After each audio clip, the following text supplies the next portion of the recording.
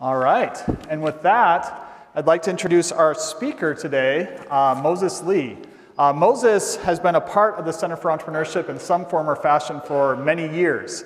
Uh, in fact, he was um, a faculty member or a, an instructor here at the Center for Entrepreneurship, helped with several of our classes in our practical hands-on classes, as well as um, a social entrepreneurship class. He's been involved in entrepreneurship for a long time, and most recently started a company called Seelio, which is an education technology company, which we'll have the opportunity to learn a little bit more about. Uh, that company was sold a couple years ago to KeyPath. So Moses had a very successful exit and uh, continues to be a mentor in the entrepreneurship community, uh, an advisor, and continues to be very involved in the education space. So we are thrilled to have him here. I'd like to welcome Moses Lee.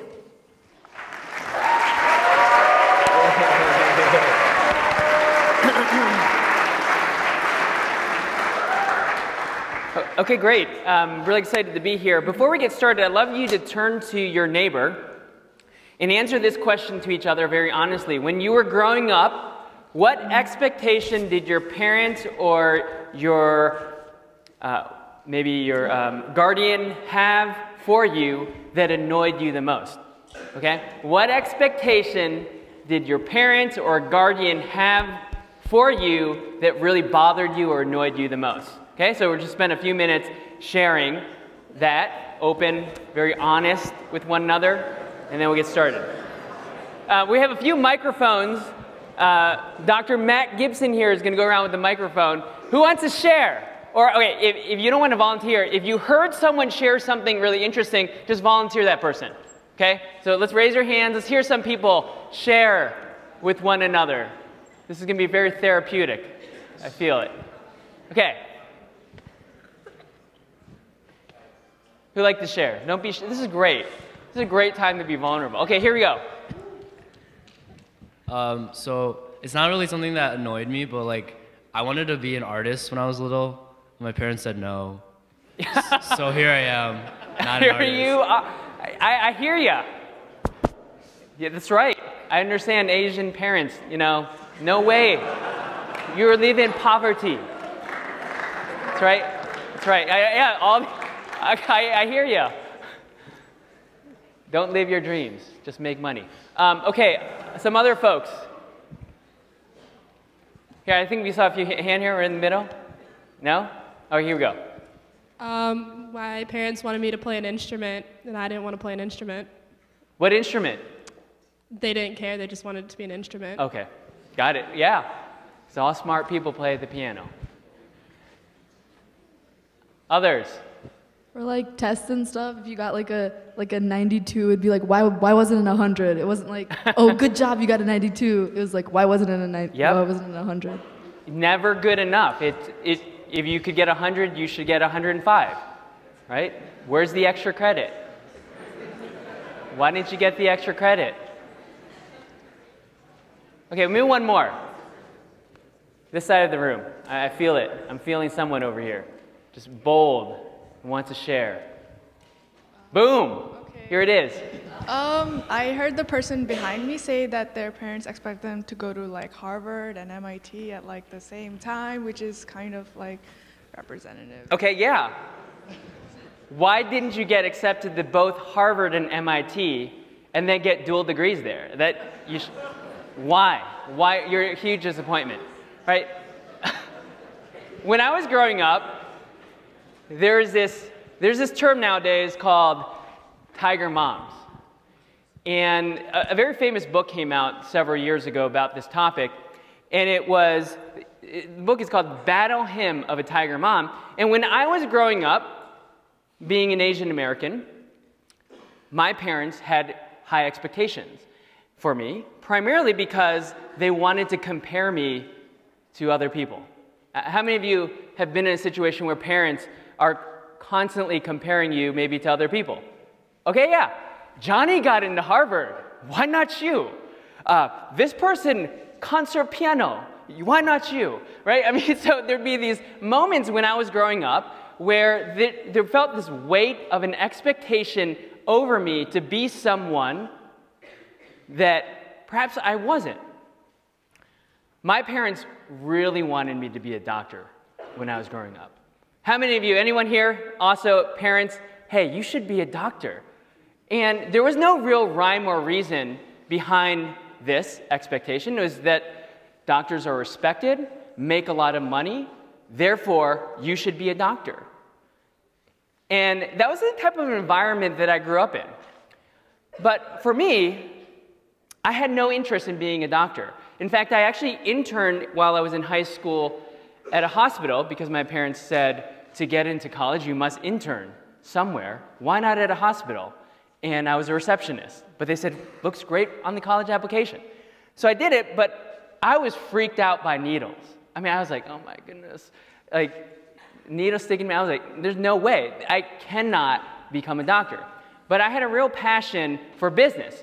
And so I, when I came to school here, I did my undergrad here, um, I really wanted to go into business. In fact, the only thing I really wanted to do was go to Wall Street because I, I, was a driven person. I loved achieving goals and I wanted to build things, but not necessarily become a doctor. And so I headed down this path because I thought being in business would be a great career for me. So when I was in college, to the disappointment of my parents that I came here because they expected certain uh, colleges, but I was like, hey, Michigan is an unbelievable school.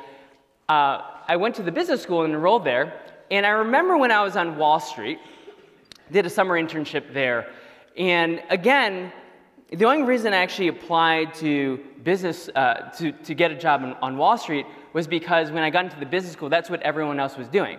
And I remember thinking to myself, this is going to be awesome. I was built for business, built for Wall Street. But when I was there, there was another huge disappointment because I actually felt like this guy in the office. I was like, sometimes you aspire for something that you don't know what it is, and when you get there, you realize that it's, it's not really what it was living up to be.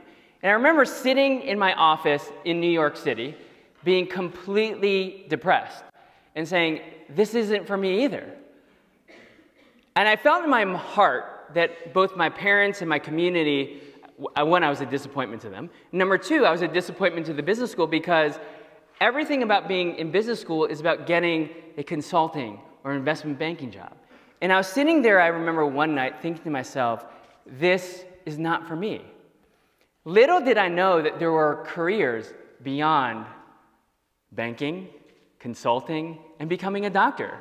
I, I, was like, I remember going online and looking what kind of careers are out there, and I realized that there are millions of other jobs that are out there, but for most of my life, I actually was unaware of them.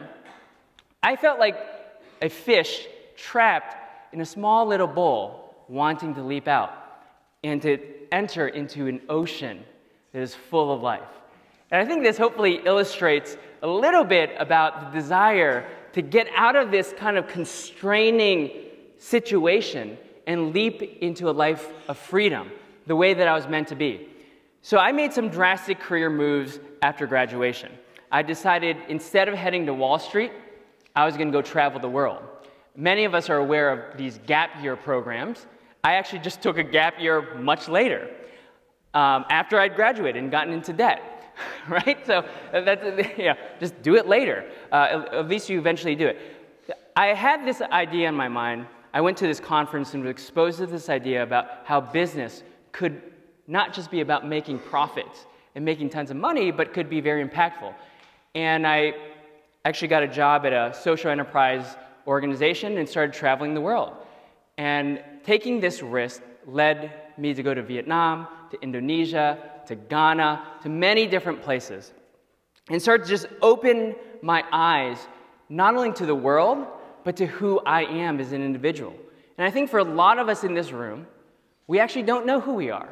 We're just living by the expectations that either our parents or even your counselor has for you. You must be an engineer. You must be a doctor. But for me, it was a time of real self discovery to realize who I am and what I'm about. That led me to apply for a job at the university. I came back from this journey and I had written a lot of different case studies about enterprises at the base of the pyramid that were making positive social impact. And one thing that I realized is once you start publishing something, you become an expert. This is something that Matt will say often. If you go publish something, put something out online, people suddenly perceive you to be an expert. So I had to put together a lot of different reports and got published by the Stanford Social Innovation Review. And there was an opportunity here at the University of Michigan to teach a class on social entrepreneurship, to develop case studies, develop a curriculum. And I jumped at that opportunity and said, why not? This is a great opportunity for me to get in front of young people, expose them to some of the learnings that I had from the field. And I loved working with students. I loved working with students to build social enterprises, develop companies, launch their ideas. This opportunity led me to a middle school in Ann Arbor. Um, because again, once you're perceived to be a faculty member here, you're an expert. So I got invited to go to Scarlett Middle School here in Ann Arbor for something called Portfolio Day. Anyone ever hear of Portfolio Day or Scarlett Middle School? Anyone from around here?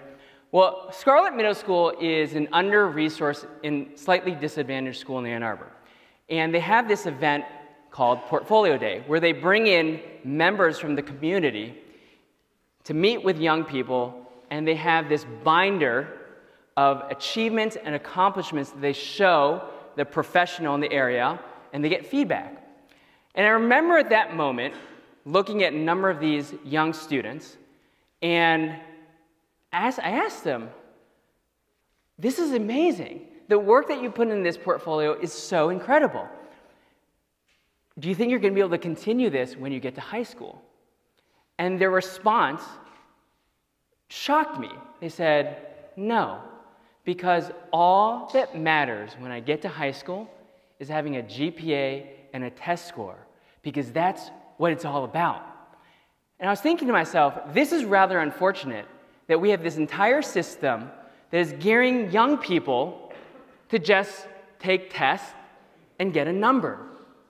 And I was thinking to myself, you are more than a number. You're more than a GPA. And I remember that was an inspiration for me at that moment. And I said, we've got to do something about this. So, number three, theme in terms of ideas and how Seelio came to life. I remember that sparked an idea, and I started talking to a lot of other people about it. I said, How can we provide a platform for students to showcase their passions and their interests and their achievements in a way that the world, colleges, and employers will actually recognize? And so, at that moment, I remember thinking to myself with some other people, we can either sit on this idea or we can act, act on it. And one of the first steps of any good entrepreneur is to go get out of the building and start talking to people. So, one thing that my friends and I, uh, who I had met at my church, we were actually just really thinking about this idea a little bit more because we fundamentally believe that people have great value, inherent value, and they're meant to showcase that and make that, use their talents and their gifts and their treasures to impact the world. So, we decided we went out and started interviewing people. But we didn't want to just interview people in wealthy communities. We wanted to interview people across the spectrum of economic uh, livelihood. So we actually went and spent a lot of time in Detroit. And we actually talked to young people and asked them about who they are, their passions and their interests, and whether there would be an opportunity to create a technology platform to allow them to showcase their work. But one thing, when we stepped out of the building and started interviewing people, is we start to recognize that those that are in Ann Arbor have much more advantage technologically than people in Detroit. I remember spending an entire day in Detroit with some of my co-founders at the time. We actually didn't know what we were going to create. We just knew there was a problem. And we said to ourselves, we don't want to launch a technology platform because it's only going to further this gap between rich and poor. Because when we were in Detroit, we were talking to students and said, we don't even have technology in the home. And we can't create these digital assets to show people. It would actually widen the disparity.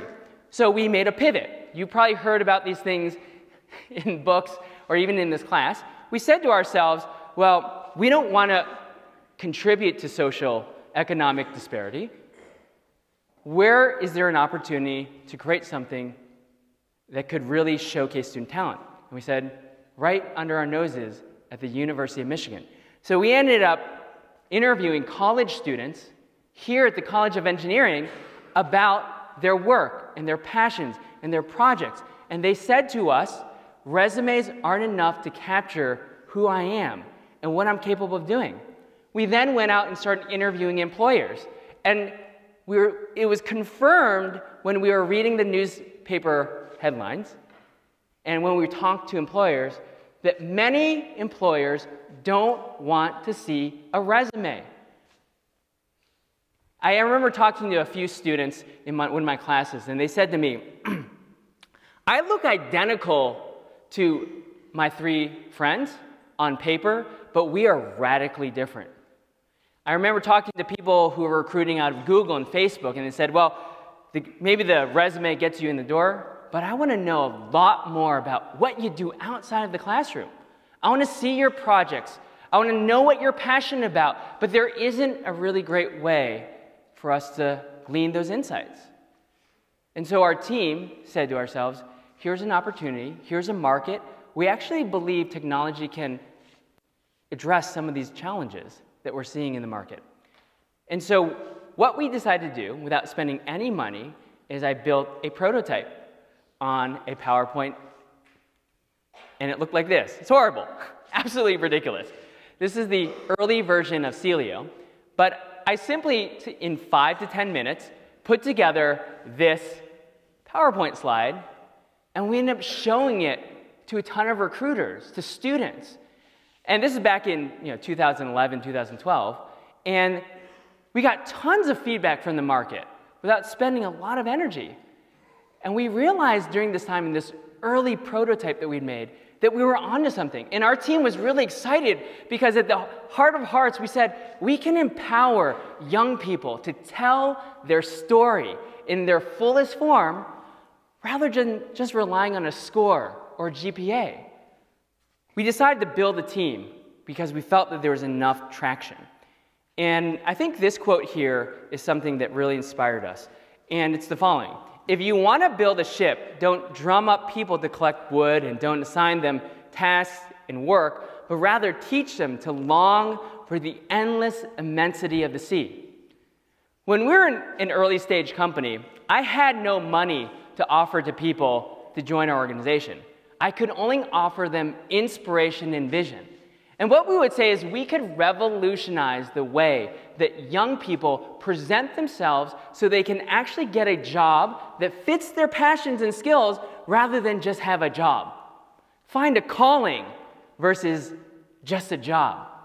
And we had a lot of people who are into this. Now, finding a great team is really, really important because for those of you who have ever started something new, it is an emotional roller coaster. And we said, let's have people, let's form a team of people who are passionate about our cause, who are never going to say die, and we can support each other through this emotional volatility. And we were the form of a great founding team. And here's a picture of us early on, as you can see here. Um, great picture. As you can see, I am married and have a young little kid. And so part of my team as well was convincing my wife and my young little son to say, we're in this journey together because we're pursuing this vision, and it's not about money, but it's about changing the world. And we actually brought together several engineers, and these two people on the right, I'm gonna, I actually want to call them out. One, um, one became the first employee at Product Hunt later, um, years later, and the other actually joined on with LinkedIn um, several years after we had started. And we brought together this amazing team that was just passionate about entrepreneurship and then passionate about bringing this idea to life. But we didn't have a lot of money. And that's where this opportunity came to me and said, well, we have this idea. We actually built a prototype. I need to raise capital because many of these people need to eat. And one theme that lesson that I learned is you really need to find investment partners because we didn't have money at the time, and we are like, oh my goodness, how are we going to survive? I remember my wife telling me and saying, you can't quit your job unless you know we're going to be able to feed our kids. And I'm like, all right, that's, that's logical, uh, makes a lot of sense. And I said, well, right now we're just meeting late night and uh, we're not sure what's going to come out of it. And she said to me, well, you can do this probably for a period of time, but at some point, this needs to be able to provide some income for not only our family, but also I need to be able to pay people who want to join the organization. So I remember feeling desperate to go out to raise capital. And I went out networking. I went and gave talks. I went and did meetups. I went to the U of M alumni network to see what I could do to raise money. And one of the most interesting things that came about was, again, my young little son. Um, my wife would plant a seed in him, and he would say, Oh, Dad, what are you doing for, for work? And I said, Well, I'm trying to start this company. And he goes, Will we have food? I'm like, Absolutely. Well, we will have food on the table. Because my wife, you know, thought it was really funny that have him be the messenger and say, Make sure we can provide for the family. But I remember this was actually a big burden on my heart at the time. Like, oh, you're absolutely right. And it gave me extra motivation. So we went out aggressively to raise money around this idea. And I cannot speak to the network that we were able to find within the U of M community. And we were actually able to raise about $800,000 from several individuals who are connected to the university. The one that I want to call out in particular is a, uh, the former head of marketing at LinkedIn. And we got published by TechCrunch, and I got this email from this guy, Nate Johnson. And he said, Read about your article, love to help. And he sent it from his Gmail account. So at the time, I was like, ah, who's this guy? Just wants to get involved. And I, I, I remember not responding to the email for days. And then he emailed again. And I said, okay, let me, uh, love to chat with you. And he said, you know, I live in the Bay Area right now. I uh, used to run all of marketing for LinkedIn. I love to help out. I'm like, oh my goodness, are you kidding me? I'm like, I should have responded early enough. But he said, I just want to help out an alum of the University of Michigan who's doing something that's really interesting to me. And because he said, LinkedIn, we're not doing well amongst college students or even high school students at the time. And we think there's an opportunity here. And so I'm like, absolutely. And I remember when we brought him on board, it became so much easier to raise money because I could tell investors and say, hey, guess what? This former head of marketing at LinkedIn is on our team. But one thing I really I recognize in all this, because there's people who just wanted to give money, is find investment partners and people who are going to help you build an organization and who are aligned with your mission. Those are the best kind of partners and investors. And we were able to build our company on the foundation, not only of these investors, but the people on our team who are really, really passionate about this. We started to grow the company, and it went from you know, two to three employees to maybe 15 to 20. And I remember as we started to grow the organization, we raised capital, we were hiring more people, we were moving to different office spaces, how important it was for me to keep vision fresh, not only for myself, but also for our teammates. And I would say for anyone here who aspires to be a leader, of an organization or the founder of a company, it's so important to keep vision fresh. Why are you doing what you're doing? And I would say this not only just if you're running an organization, but if you're leading yourself. Often, many of you in this room, we're going to take a slight riff here. We go through K through 12 education, college, without ever asking the question of why am I doing this? What is my vision for my life? where am I going with this? And you just kind of go through the system until you graduate. And societally, there's this huge term called the boomerang effect. You go through all these years of college 20, 22 years uh, of schooling, and then you go back home and live with your parents, and you're underemployed. Part of it is because there is no vision. So, number one, if you have no vision, Get a vision for your life or your organization. And once you have it, continually remind yourself. And there'd be seasons when we were growing as a company where it was really, really hard. We didn't know we were going to make it. I remember there's a, a, time when we actually had to lay off a few people because we were pivoting the organization and going from a B2B comp- B2C company to a B2B company. And we had to lay off some people. And during this time, we felt compelled to cast the vision and remind people why they signed up for this in the first place. But one way that we did it was like, let's look at the impact that we're making. And we often, as an organization, shared quotes to each other once a week to remind us of why we were doing this. And I just want to read this. I remember we got this quote This is freaking awesome. This is so much more than just job seeker website. It really describes who you are, uh, you as a human being. I no longer feel like hurling myself off a bridge when thinking of job hunting. And so we were like, these are inspiring quotes that keep us going on our vision. This is an early phase of, uh, you know, beta launch of our site. But I remember when we launched our site, we had college students from across the country logging in to create a portfolio. And I remember we said this one girl from Princeton, who's an Olympic swimmer, she put her work on to our site. And I remember sharing with our organization, this is an absolute privilege that this woman chose our platform to showcase and tell her story to the world. Um, an MIT student logged in. Um, and again, we were doing no outreach, but he put all his robotics projects on and was using it to apply for a number of jobs. And he messaged us and said, This allowed me to communicate what I do in a much more powerful way than a bullet point on a resume. Um, I want to just talk about this woman. Her name is Chelsea Hunterson. And her story is a little, little bit unique because uh, she applied to our company early on after graduating from the University of Michigan and said, I really love your vision. I want to work for you. And I remember getting her email, and I looked at the bottom, uh, you know, at the bottom, she says, you know, what school did I graduate from? And she, it said, like, political science. And I remember responding back to her and said, well, we're a tech, ed tech company. I see no need to hire someone from a political science major. And she responded back, you didn't even look at my Seelio. and I'm like, oh, I've fallen into my own trap. I've fallen into my own trap. And I clicked on her Seelio, and our team looked at her work, and we realized that she had all these skills that went beyond her degree. And we're like, we've got to hire her. And we did, and she was an amazing employee. She added tremendous value. And I share this story because it illustrates the problem that we're trying to solve and how even I fell into the trap of the problem that we were trying to solve of communicating who I am and what I can do rather than just my degree.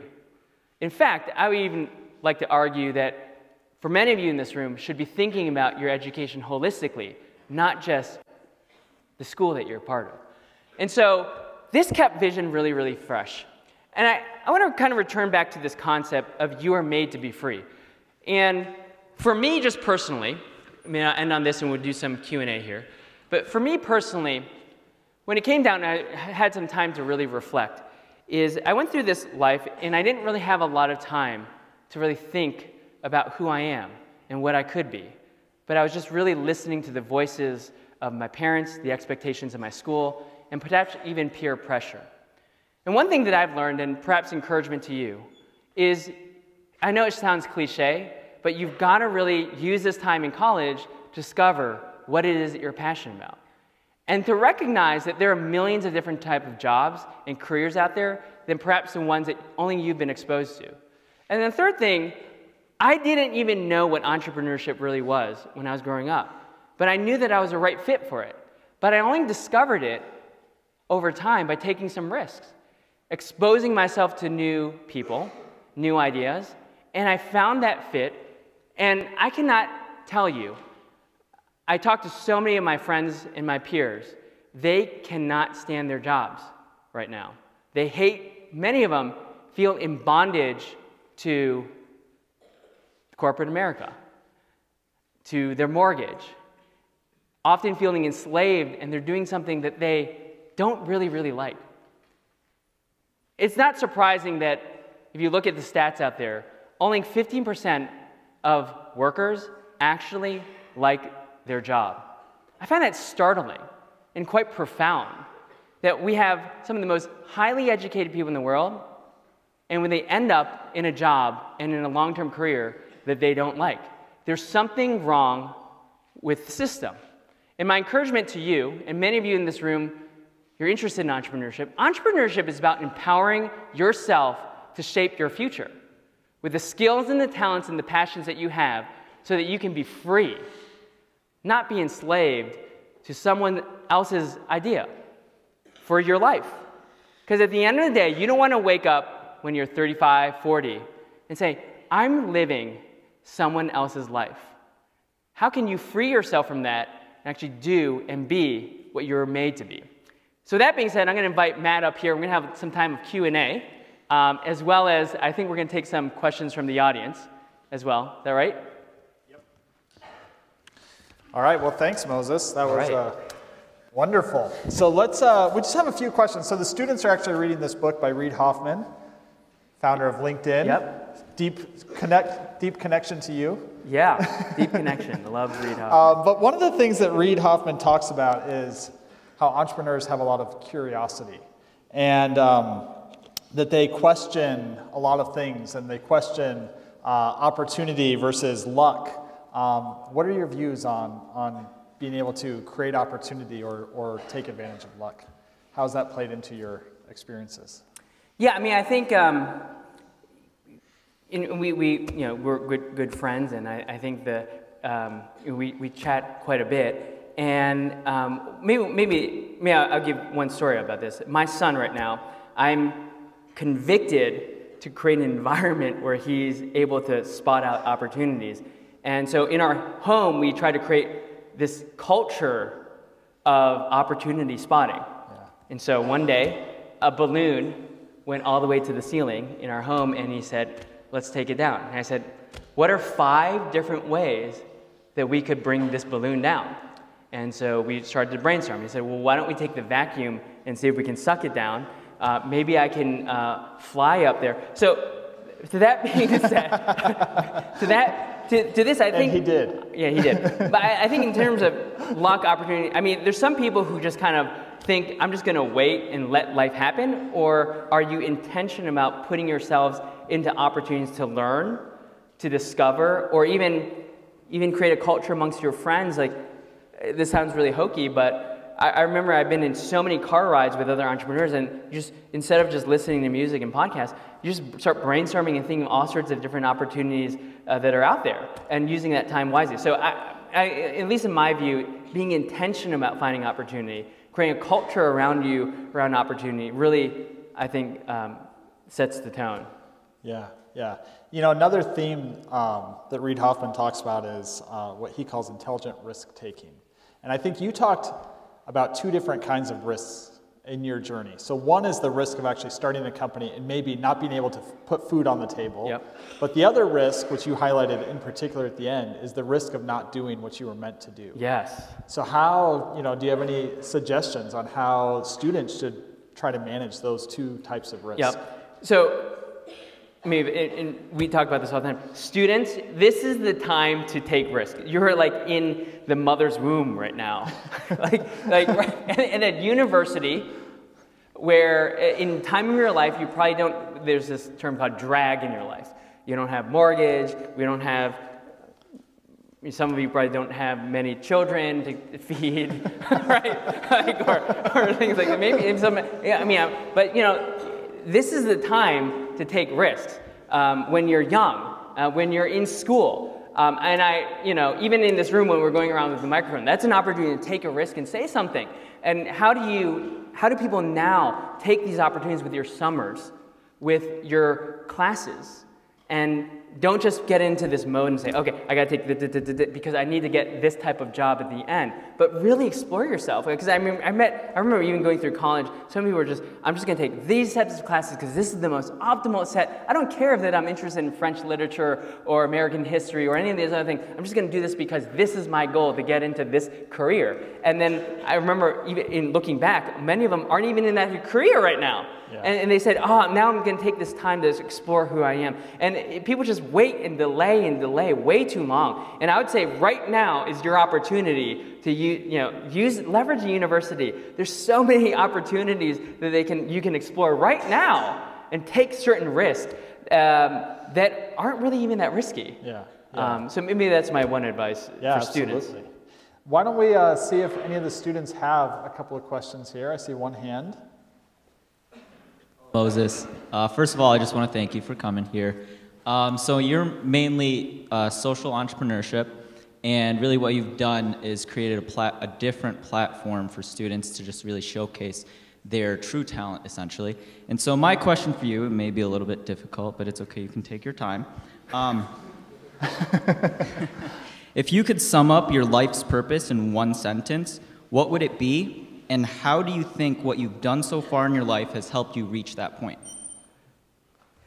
So, um, I've recently spent some time reflecting upon life purpose with my wife, and there's several key phrases that um, we're really passionate about. Um, and they're active verbs. One is centered around teaching. And we really feel compelled that my wife and I and our family, we want to be people, we love education, we love teaching, we love presenting people with new ideas and ways of thinking. So teaching is very much involved in there.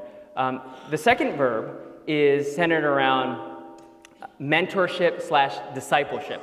I mean, we in general want to pour our lives into raising next generation leaders. And the third one is investing. And it's not just investing our time and energy, but it's actually pouring financial resources into people or causes. Uh, I think for us, we've been fortunate because of the exit that we had that actually have financial resources. But one thing that we were very clear on as a family is that we're not going to increase our lifestyle just because we have more capital. In fact, we're going to steward it in a way that invests in people and in our communities and other causes that are really dear to us. Um, so those three active verbs, you know, uh, teaching, mentorship, and investing uh, are things that kind of guide uh, the way that our family is choosing to live. Hopefully that helps. That's great. Thank you. So right up front. Could you talk about the difference between what people are meant to do and what people are led to do by their peers and parents and sure. their expectations? Well, I mean, I think this is part of self discovery. I think one is, uh, you know, are you making a decision just because your peers are doing it? That's number one. Like, when you're in college, picking a job is probably uh, the most lemming thing you could do, right? Lemming, you just fall off the cliff and everyone. You just go, oh, everyone's going to get go for that job. Everyone's going there. I mean, listen, when I was in college back in the 2000s, no one wanted to do tech. I mean, everything was banking, consulting, pre med, and probably is somewhat still today, but there's a lot of pressure to go down that path. But you know, when tech companies come, they didn't have a lot of people going to them, um, and but so I mean, to some extent, what I'm sharing here is like, don't just apply for jobs just because, oh, that's what everyone else. Like, really seriously consider what are your strengths, what are you good at, what are you passionate about, what do you really love to do. Uh, Matt and I talk with a lot of young people all the time, and we were surprised how often people don't know what they love to do, or have, or even cultivate their passions. Um, so I think that's part of it. It's like if you could early on, and I think this is really important early on, try to figure out what you love to do, what you're passionate about, what you spend night and day thinking about. Um, I think that's the start. And then on a side note, colleges are now asking these questions because they recognize they don't want to just put people into the system. They want to have people come to their school to leverage their resources and do something amazing with it. Not just head down this traditional path as everyone has always done, but they want change makers. People are going to really shape the future. So I, I, don't, I hope, hope, this kind of gives you some hint of, am I just doing it because my parents want me to do it or, my, or everyone else? And it actually takes a moment to reflect. Maybe this is the other thing, I'll get, up, get off my soapbox, is I know we're a very plugged in, wired generation, but if you actually unplug for maybe 30 minutes and go for a walk, you'd be amazed at how much you would discover about who you are. And uh, maybe that's just one practical application. Other questions? Yes. Do you have any risks that you didn't take and you regret not taking at that time? At, at, throughout my life or at what time? Throughout college. College. Yes. Um, so, for example, every single summer, because at the time all I wanted to do was be a banker. So every single summer, I just took a stand, like a, I worked at a brokerage firm uh, after my freshman year. Sophomore year, um, I, I think I went back there. Oh, I did trading um, on the Chicago Stock Exchange. It was actually a really crazy experience. Like, I was on the floor, like, eh, I'm like trading all these commodities and futures. It was ridiculous. Uh, then I did an investment banking internship, and then so it was just. I actually never took time to explore other things, and I kind of regret not using some of those earlier summers just to explore interesting things that I loved. Um, because I think you can, there's, there is the challenge of just trying to be too career focused right out the gate um, versus just exploratory. So I kind of regret some of those summers, not using them and having fun. Well, Moses, thanks for spending some time with us. Uh, this was wonderful. I hope that uh, everyone enjoyed this time as well and was able to take something from it. So thank, thank you, Matt. Thank you.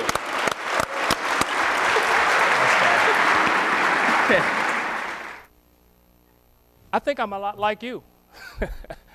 when I was uh, uh, a kid growing up in Flint, I had this burning desire to be an entrepreneur. I wanted to start a manufacturing company, an electronics manufacturing company. I wanted to be my thing.